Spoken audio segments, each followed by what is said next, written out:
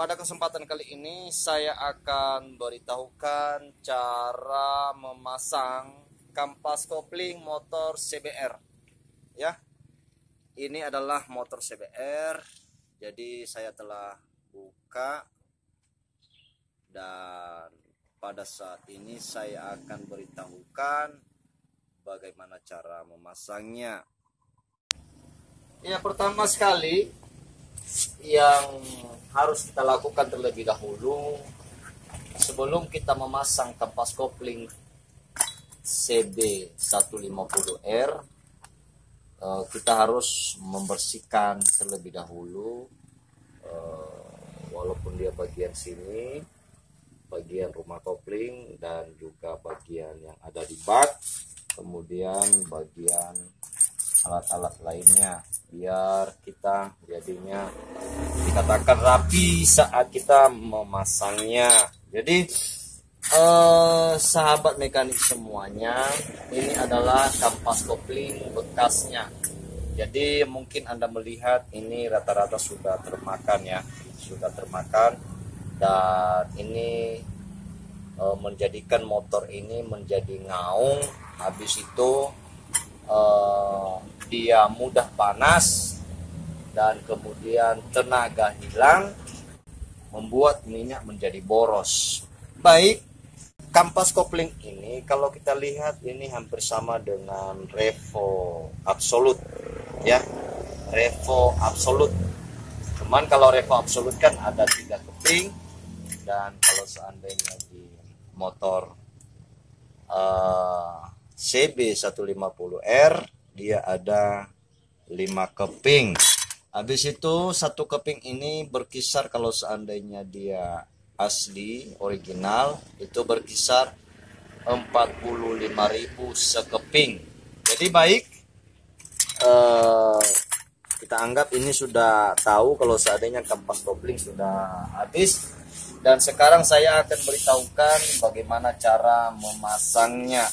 Baik, pertama sekali ini adalah uh, aluminium uh, rumah kopling. Ini kaki empatnya. Jadi pertama sekali dulu kita pasang uh, kampas koplingnya ya. Ini yang baru ya. Ini kampas kopling yang baru. Kemudian kita pasang platnya. Jadi ini hanya ibaratnya tuh seperti itu ya cara masangnya ya. Kemudian ini kita pasang lagi kampas kopling dan habis itu platnya. Dan seterusnya. Ini ada lima keping ya. Ada lima keping kampas kopling eh, motor CB 150R eh, Oke setelah ini terpasang saya keberitahukan. Terkadang banyak orang kebingungan di saat mau memasang ini. Di saat mau memasang ini. Jadi untuk di CB 150 ini ada knocknya ya. Ini ada knock. Dan kemudian di lawannya juga ada knocknya ya.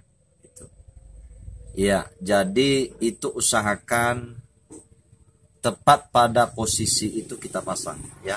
Jadi seperti itu ya. Jadi tetap seperti itu ya. Nah, oke. okay. Nah, karena kalau seandainya dia tidak ada pas seperti di sini, itu tidak ada masuk ya, tidak ada ngepres, ya, tidak ada ngepres eh, kaki empat ini. Jadi harus di knock ini yang telah eh, dibentuk oleh pabriknya. Jadi seperti ini ya, oke. Kemudian kita akan memasangnya.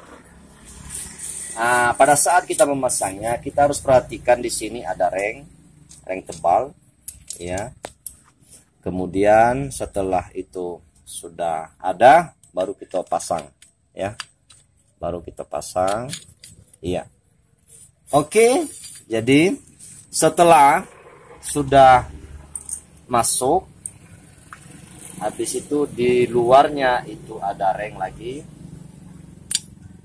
dan kemudian ada murnya ya. Jadi usahakan murnya ini harus benar-benar dikencangin ya. Dikencangin supaya memang tidak mudah kendor. Jadi saya akan mengencanginnya pakai kunci sok ya jadi kita akan kunci uh, posisinya seperti ini ya. Jadi iya.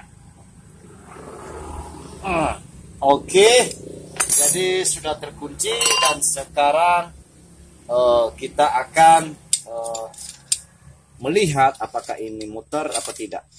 Ya kalau ini muter berarti cara pemasangan kita sudah benar di motor CB uh, 150R jadi setelah ini baru kita pasang pernya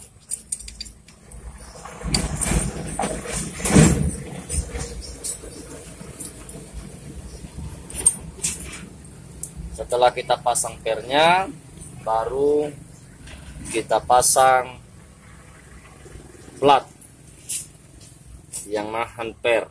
Jadi posisi platnya ini bagian tempat dudukan kolahar jangan terbalik masangnya ya. Jadi seperti ini cara masangnya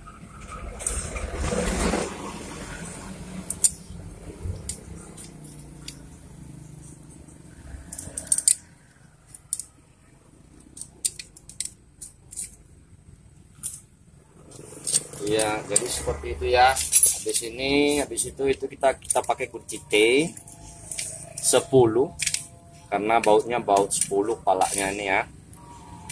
Oke. Kita harus menguncinya dengan kuat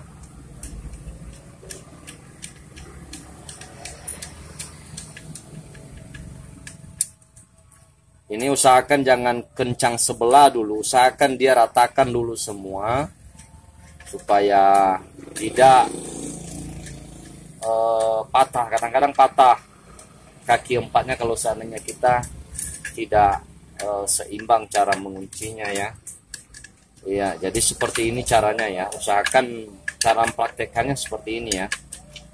Iya, habis itu kita kencangin. Hmm.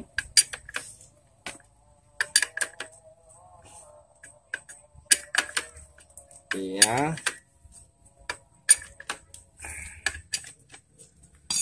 Iya, dan setelah sudah terkunci kuat, jangan lupa kolaharnya dipasang ya. Kolaharnya dipasang. Oke. Dan kemudian sebelum kita pasang baknya, baknya perhatikan dulu mengenai masalah per engkol. Usahakan dia sudah di posisinya ya. Per engkol sudah di posisinya.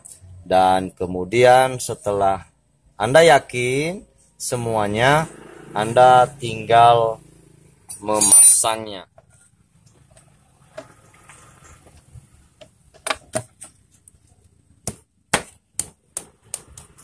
Iya, jadi setelah terpasang baknya otomatis Anda tinggal memasang bautnya. Uh, saya akhiri semoga bermanfaat. Sampai jumpa.